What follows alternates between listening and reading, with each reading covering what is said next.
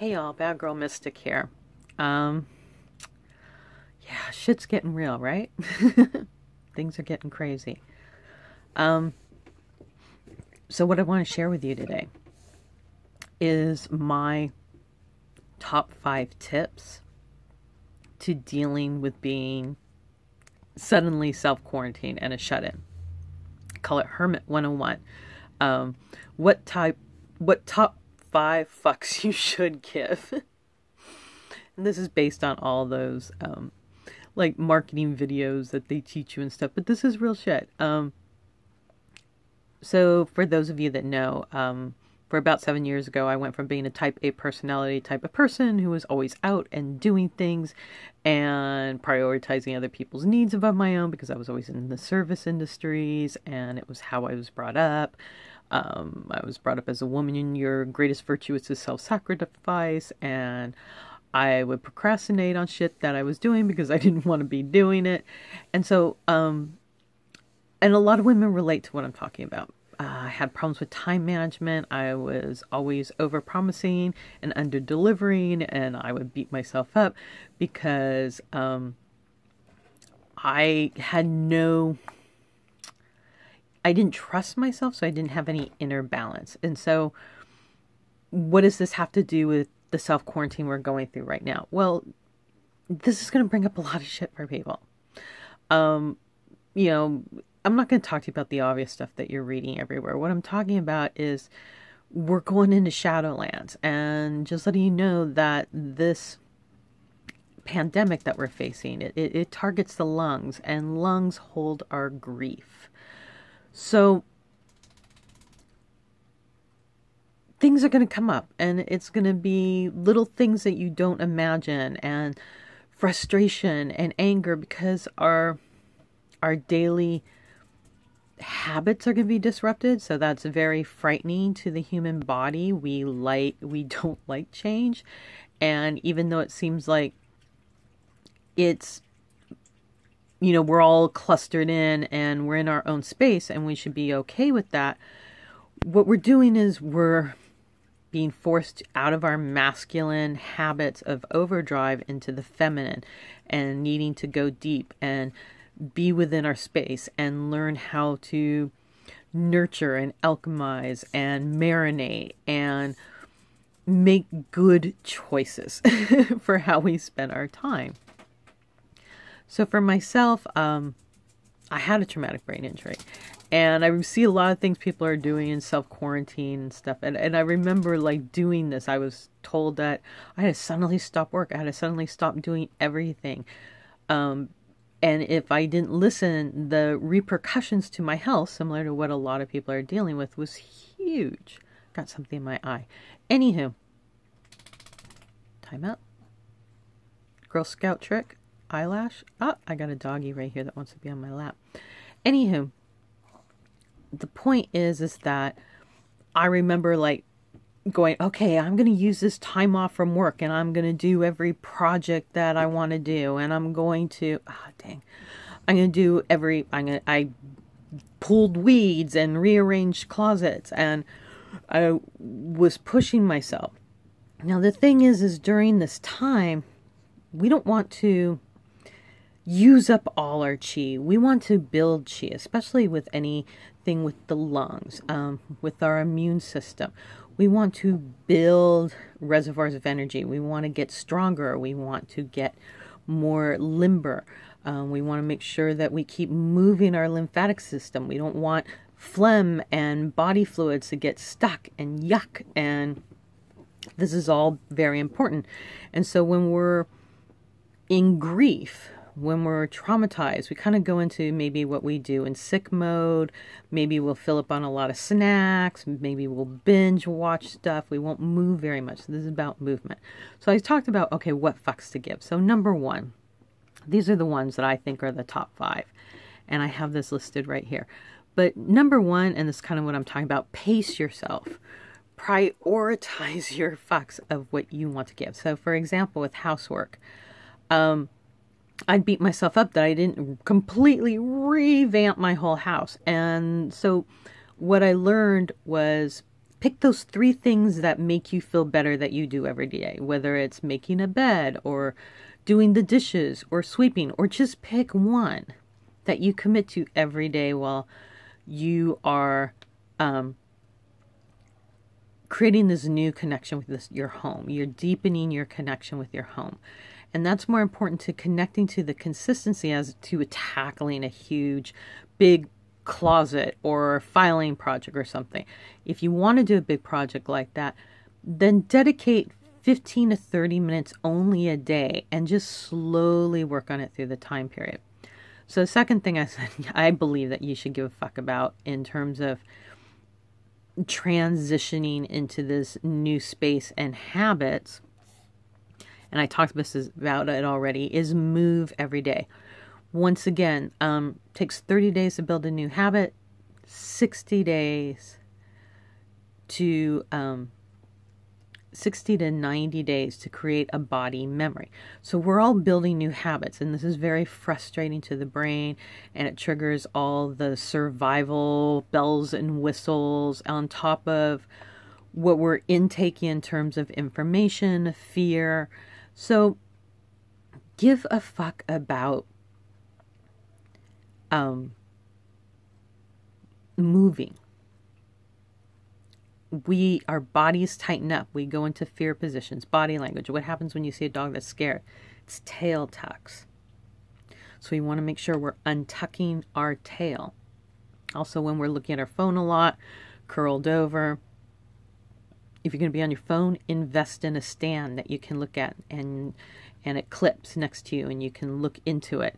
Um, so once again, grief and fear if we ignore it and let it build in and we keep saying well i'm don't have it this bad or i don't have it that bad or whatever and we keep trying to push it down and be strong for others then we're collecting and we're we're we're, we're holding on and we're just we're not moving these stress hormones like cortisol. You want to move it out of your breath. You want to move it out of your sweat. You just even want to move it out stretching or through your voice. So if you have the space and privacy, speak your fears.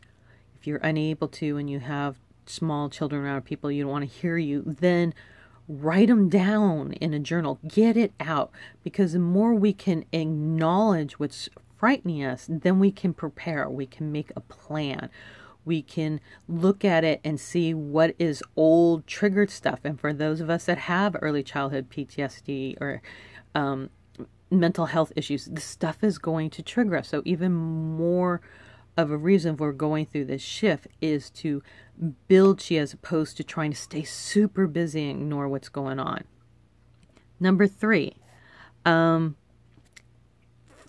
use the powers of saying fuck off. That's number three. That's what you should give a fuck about. Give a fuck about your tribe. Give a fuck about keeping your circle tight. Um, this is just the truth of the matter is some people are going to fall away from your life right now. There will be those that will not return your calls or your texts or you know that you're you're caring deeply about. So really think about who are you giving a fuck about? Why do you give a fuck? Um, if you're listening to people's opinions, do they pay your bills? Who are they to you? What do they contribute to your life? Um, unfortunately, there's just some people we have to let go or limit our time. Um, I'm the black sheep of the family, no surprise there. I love my family dearly. We are on different planets when it comes to what we value and what's important to us. And at a certain point, um, after my brain injury, I no longer want to keep defending who I was to people who were committed to misunderstanding me. So um, I really tightened my circle and limited who I engage with. So this is being asked of us, but this is also a good time to really think about who is on your zombie apocalypse team. Okay. Um, and uh, let me see if I have any more notes on that one. Um,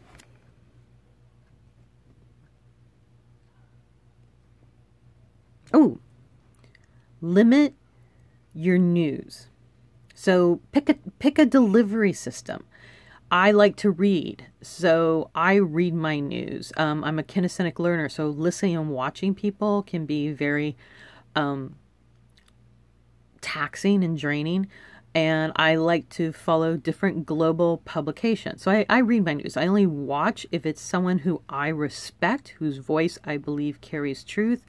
That's the person who I put time in listening. People who I do not respect or I feel are dishonest, I do not watch their news. Um, and if I do watch, I only watch on YouTube so that I'm I am watching in clips. It's it's not something that's going on in the background. Turn off any news in the background. You don't want to hear stuff streaming 24/7. Um, create check-in times, AM and PM of what source you want to check. So if it's the CDC, if you're somebody who's very scientific, that would be a good choice. Um, limit yourself to staying informed without being overwhelmed. Number four, play every day. Oh my gosh. Um, emotionally being stuck in the house and and going through that grief of missing out.